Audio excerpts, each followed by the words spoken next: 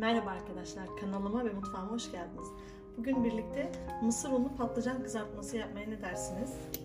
Öncelikle patlıcanlarımızı soyalım.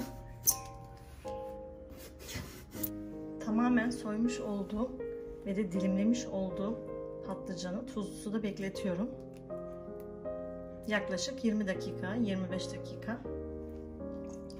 Tuzlu suda beklettiğim patlıcanı peçeteyle dikkatli bir şekilde kuruluyorum.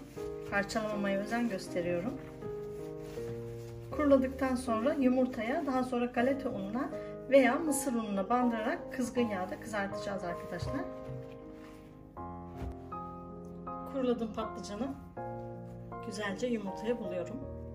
Her tarafına gelecek şekilde güzel kızarması için. Şimdi galeta ununa siz dilerseniz mısır ununa da bulayabilirsiniz.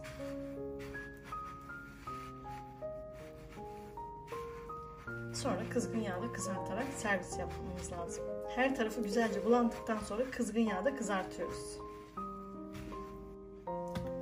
Son işlemimiz kızartma işlemimiz kaldı. Çok güzel görünüyor.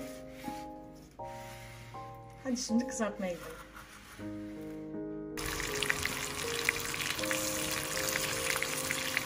Patlıcanlarımı kızgın yağ ile kızarttım.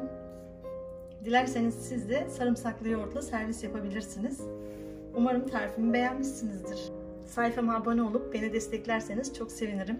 Yorum ve beğenilerinizi bekliyorum. Sağlıcakla kalın.